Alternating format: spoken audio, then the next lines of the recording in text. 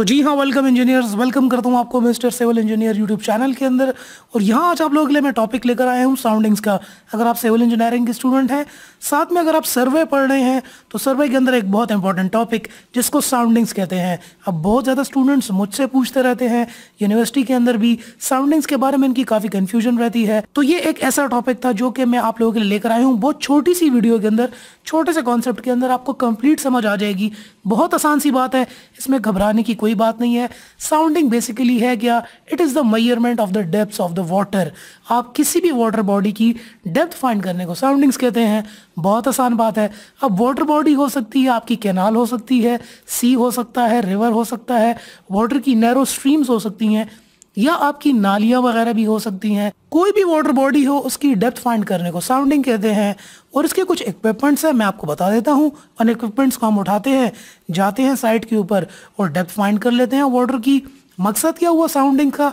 बहुत आसान है। साउंडिंग की फाइंड करने का मकसद ही, मकसद में पहला जो मकसद आता है, वो वाटर बॉडी की जो बॉटम है, उसकी कॉन्फ़िगरेशन फाइंड करने के लिए। सेकंड जो बात है, वो हमारे पास है नेविगेशन चार्ट्स बनाने के लिए। और थर्ड जो है the quantity of material dredged जो मटेरियल हमने एक्सकेवेट करना होगा, पानी के अंदर से अपनी फाउंडेशन बनाने के लिए, वो मटेरियल की क्वांटिटी हम बाहर निकाल लेते हैं। तो साउंडिंग करने का मकसद क्या हुआ? बॉटम की कॉन्फ़िगरेशन फाइंड करने के लिए सेकंड नेविगेशन चार्ट्स बनाने के लिए, और नंबर तीन के बॉटम के अंदर से जो क्वांटिटी ऑफ़ मटेरियल हम बाहर निकालेंगे। तो ये थी साउंडिंग और ये थे इसके तीन बेसिक मकसद। अब बात कर लेते हैं कि ये साउंडिंग करते किस तरह है मेथड्स क्या है। आसान से मेथड्स हैं, कुछ थोड़े बहुत हमारे पास इक्विपमेंट्स हैं। उन इक्विपमेंट्स की मदद से हम साइट के ऊपर जाते हैं और साउंडिंग करते हैं बड़ी आसानी से। जो इक्विपमेंट्स यूज़ होते हैं साउंडिंग्स के लिए बहुत आसान है। जो पहला इक्विपमेंट है, वो साउंडिंग बोट है। आपको एक बोट चाहिए होती है। अब बोट यूज़ होती है कहाँ कहाँ पर? साउंडिंग बोट कहाँ कहाँ पर यूज़ होती है? सी के अंदर और रिवर्स के अंदर। आसान सी बात है, दरिया में तो आप कूद नहीं सकते, समंदर के अंदर भी कूद नहीं सकते।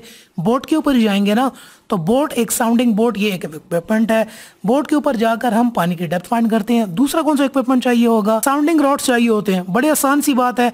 रॉड्स होते हैं, जिस तरह आपके सर्वे के अंदर स्टाफ रॉड होते हैं, इसी तरीके का एक साउंडिंग रॉड होता है। पानी के अंदर उसको डिप करते हैं और निकाल के उसके ऊपर ग्रेजुएशन हुई होती है। पता लगा लेते हैं कि पानी की कितनी गहराई है। अब साउंडिंग रॉड जो है, ये शेलो डेप्स के लिए यूज़ होता है, जहाँ पर पानी कम हो। समंदर के अंदर आप साउंडिंग रॉड नहीं डाल सकते। अगर आपने डाला वो तो अंदर गया। इसके बाद जो एक इक्विपमेंट है, वो लेड लाइंस हैं। अब लेड लाइन भी जो है, वो साउंडिंग रॉड की तरह है, लेकिन ये स्ट्रेच कॉर्ड होती है स्टील की वायर होती है, जिसके लास्ट में वेट लगा होता है।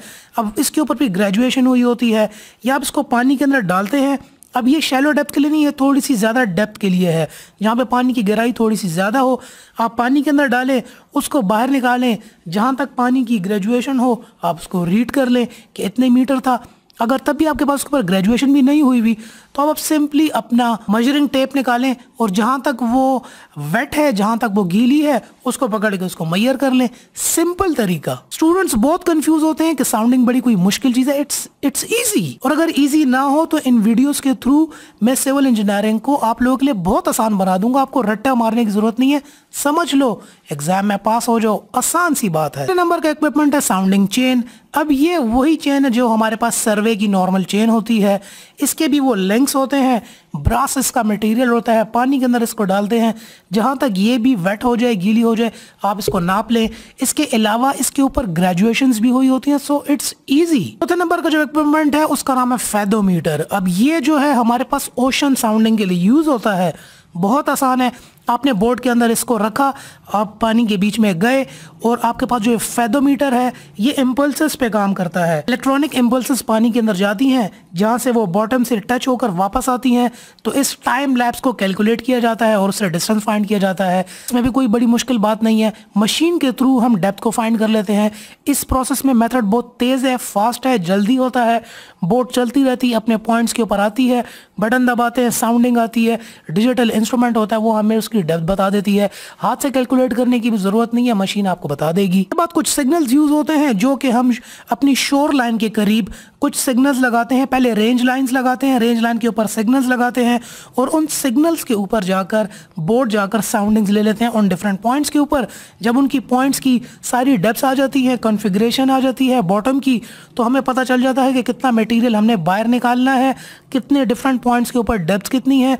तो जब हाइड्रोग्राफिक सर्वे का मकसद ही क्या है कि हम अपने हार्बर्स बनाते हैं और पोर्ट्स बनाते हैं सिंपली तो उसके लिए फाउंडेशन बनानी है हमने पानी के अंदर। तो पानी की डेप्थ पता चल जाती है कितना मटेरियल निकालना है, वो पता चल जाता है और डिफरेंट पॉइंट्स के ऊपर कन्फिग्रेशन पता चल जाती है बॉटम की। अब पानी के अंदर वेजिटेशन भी होती है, पानी के अंदर डिफरेंट किस्म की फिशेस भी होती हैं, पानी के अंदर छोटे छोटे प्लेटोज भी होते हैं, उन सब की लोकेशंस पता चल जाती हैं।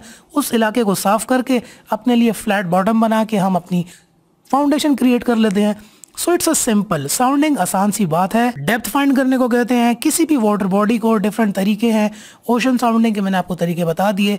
ये सिर्फ़ इंट्रोडक्शन था। साउंडिंग का अगर आप डिटेल में इसकी कंप्लीट वीडियो देखना चाहते हैं तो नीचे कॉमेंट्स मुझे बताइए। और वो कौन से ऐसे टॉपिक्स हैं जो आपको समझ नहीं आ रही? मुझे वो टॉपिक्स नीचे बताइए।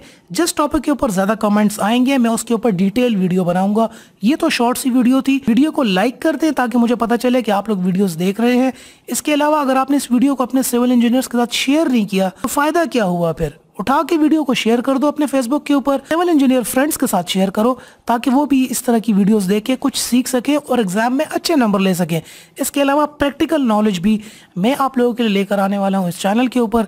सब्सक्राइब करके रखे चैनल को वीडियो को लाइक ज़रूर कर दें। एंड मेरे civil engineers thanks for watching